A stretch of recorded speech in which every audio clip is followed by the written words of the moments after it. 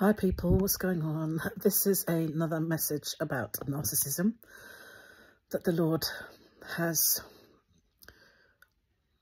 He's gently encouraged me to share it for the purpose of togetherness, understanding that you're not alone, to quell that sense of loneliness or it's to quell the sense of loneliness. That's what this one's about. That's what this message is about. This message, with regards to narcissism, is the other side of what I spoke about the other day. So I discussed reactive abuse and the narcissist not uh, respecting your boundaries um, in that message. In this message, I'm going to speak about the ostracizing, the isolating that the narcissist implements, the silent treatment, the making you feel that you're not worthy, you're not good enough, that you are dead to them. This can be implemented by friends, family, a partner that or an ex. Um, work organi organisations can do it. The workforce can implement it. They can make it difficult to provide references, for example, things like that, to recommend you, make recommendations of, uh, you know, to uh, future employers. And what is very hurtful about that is if you helped that business flourish, excuse me, if, if that business was failing and it was due to your input and they're just disgruntled that you left or for whatever other reason, and now they want to make you suffer. The narcissist, the narcissistic spirit, however you want to refer it, refer to it yourself, as a means of punishment for you exposing something or drawing something out into the light, something that they wanted hidden, something that they themselves did not want to acknowledge and and it's they will punish you for that.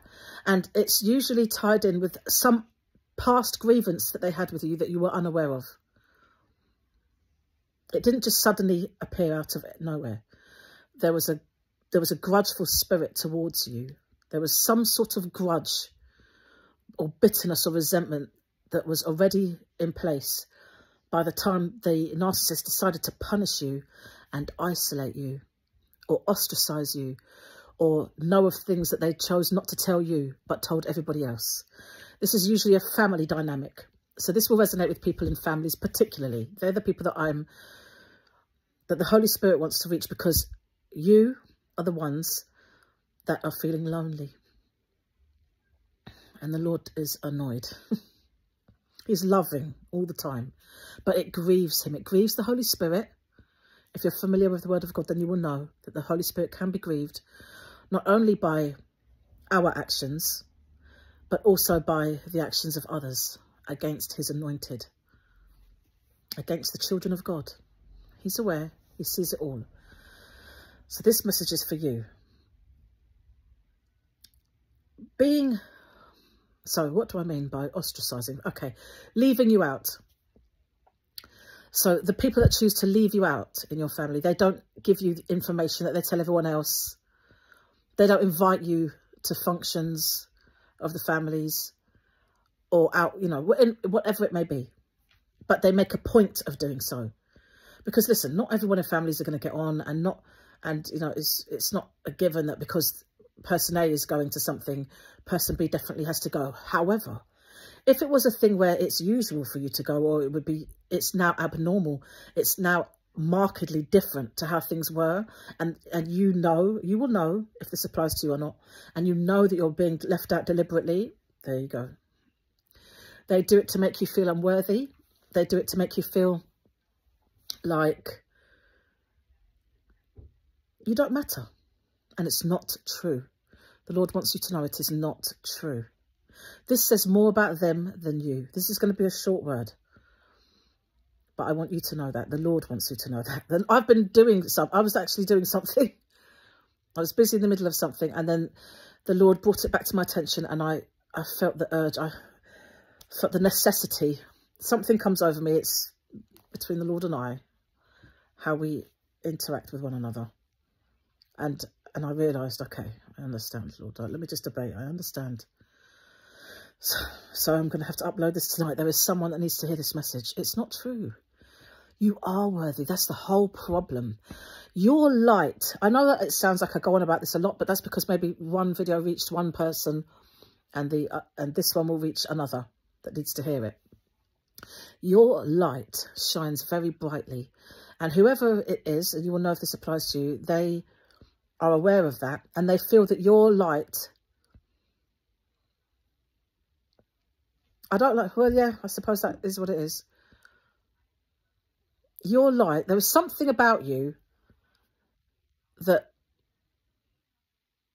people gravitate towards or that shows, it shows there's something that you have that they lack and they feel, and it doesn't mean that they don't have other qualities, but they feel that you having these qualities diminishes or somehow takes away from them and theirs. They're annoyed with you, but the main thing is this. When people do this to you, another thing, okay, sorry, Lord, isolating. So the ostracizing of you, leaving you out, is also to do with the isolating. It's also to do with making you feel inadequate, making you feel lonely, making you feel, there's that word again, lonely, making you feel like you're not a part of things. Listen, I've said it before, and I'm going to say it again. The Lord is allowing it. The Lord, perhaps they are doing his work. He wants you to be set apart. He wants you to be removed from that circle. And you, being you, would not be removed from that circle if it were not for this occurrence. Something may be connected to that person that is doing this to you or those people that are doing this to you that the Lord wants you to have nothing to do with. He wants you away from that. Perhaps, maybe even you could be, there's a term called the scapegoat in narcissism. Look it up. And perhaps the Lord is sparing you from something. Whatever it is, he doesn't want you there. It's him that doesn't want you there. Remember, man's rejection is God's protection. There's a reason that the Lord is allowing a distance to become to, to be formed between you and them. Okay, so don't don't beat yourself up about it. Don't be glad that you're soft and fleshy and emotional and have empath, empath, empathy, empathetic ways, empathic rather, empathic, I beg your pardon, empathic ways. Be glad that you are sensitive sensitive to things of the spirit, sensitive, in tune with your own feelings and with what's right and with, with what's wrong. Okay, there's nothing wrong with, it's okay to feel hurt. A little girl looked at my daughter today. My daughter's a baby. She's a little girl. Okay. A young child. And another young child looked at my daughter. My daughter said to me, Mummy, that little girl just looked at me and scrunched her face. I said, what do you mean, sweetheart? She said she went like this. I said, don't worry, sweetheart, don't worry. As we walked around the shop, then she said, Mummy, there's that little girl. She did it again, and so did her big brother. Now, now I looked when I heard big brother, and her big brother was, the little girl was the same age as my daughter, and her big brother was around I'd say 12. 10 to 12, no, no more than that. Uh, so I said, I kneeled down and I whispered to my child, don't worry, sweetheart. It's okay. It's not about you. That says more about them. It's because of your pretty little face and you're, you're radiating a lovely energy and it's obviously different to theirs and they don't like it. It's to be expected. It will always happen in life. Just don't worry about it. Get over it. Don't even look at them again. Don't pay them any mind. She said, okay.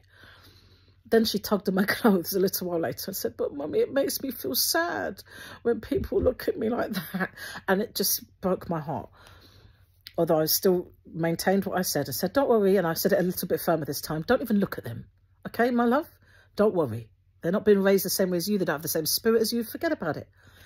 I said, okay, but it did pull at my heartstrings because that softness, that's what I'm talking about. My child as opposed to the other child and I'm not, it's a child, they're both children, so I have nothing against the other child. But my daughter had a sense that it was wrong and that it made her feel sad and that it's not nice to do that to others. Because she did say that after me, afterwards to me as well. But I wouldn't do that to anyone. I said, I know, baby. That's why. That's why. It's that energy. It's the opposing energy. She has that child has a different energy to you. Pray for her. The Lord said we have to pray for her. That's what I said as we left the shop. And I said it quietly. I was tempted to say it to the child, or at least to the child's mother, but I didn't. But my point is this. That's what it is. It's You see, children are innocent. That's why the Lord said, be ye like a child. For the kingdom of heaven is full of these. And if you are not like one of these, you will not get in. Not verbatim, I've paraphrased it, but that's what the Lord said.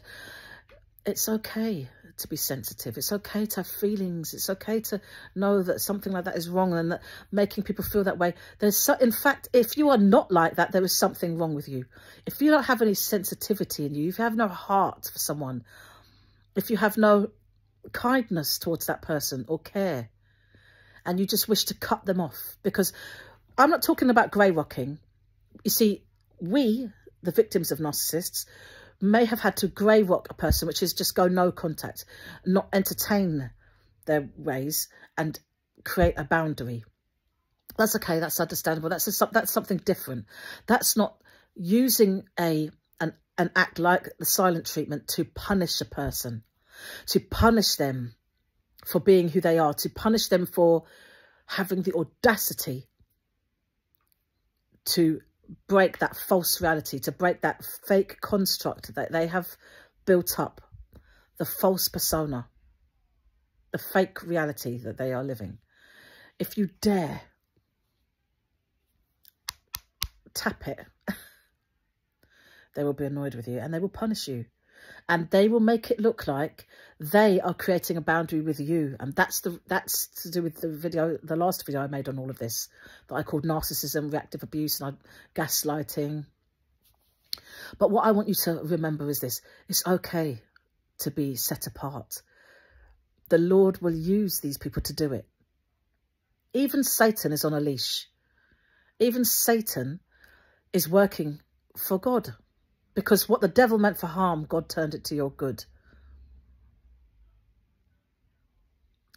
So don't mourn it too much. It's cruel, it's it's unkind, it hurts. Acknowledge all of this. It leaves it leaves you wondering what what have I done? And that's what it's meant to do as well. It's meant to make you ponder and think of the person. It's meant to make you feel pine and feel like, why? What have I done? You've done nothing wrong. You've done nothing wrong but be the beautiful creation that God made you to be. That's the problem. You're, you refuse to, you, it's not that you refuse to even, you don't even try that hard. You're just not ever going to fit into the box that they would have you in. They don't want you in the box that you are in right now. And you're not even in a box. That's the problem. Get back in your box. That's what they're saying to you. Get back in, in your box that you came, but you came out your mother's womb a long time ago. Get back in your box is what they're saying. Or get into that box. They don't like the fact, the freedom that you have. There is something about you. There is something good, God-given about you that they don't like. Would you do what they do? What Would you do what they are doing? Would you do it to someone you didn't like? Would you do it to an enemy?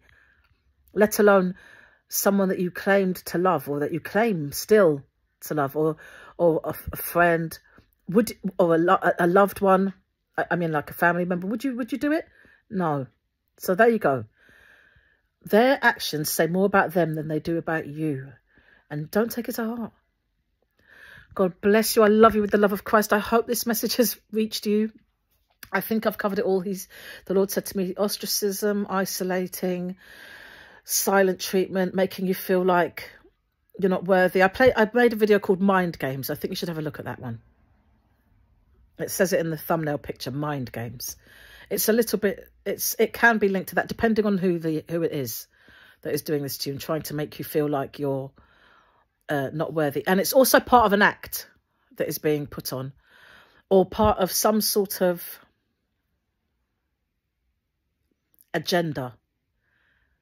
You don't fit in with the agenda there's an agenda and you don't fit in you probably you'll probably blow it up you'll probably you'll probably you know put that light you're a light okay Those that want to stay in the darkness, they did not like the light because the light shows their sinful ways.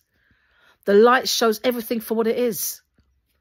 The imposter syndrome cannot be kept up. The fake construct, the false reality that is being portrayed the edited show that's being screened. You ruin it. You come along and it's suddenly a live show and there are no lines being kept to. There's there's no editing. It's just raw as it is. And that they don't want that because then it's going to be seen that they can't act or that the act is an act. Use your brain. You and I say that respectfully. Don't keep turning this this don't keep turning this magnifying glass in on yourself. What did i do? You did nothing. You've done nothing. You've done nothing but what i've said you've done. You've done nothing but exist and be yourself. Be the person god made you to be. Be the person that god has you and wants you to be.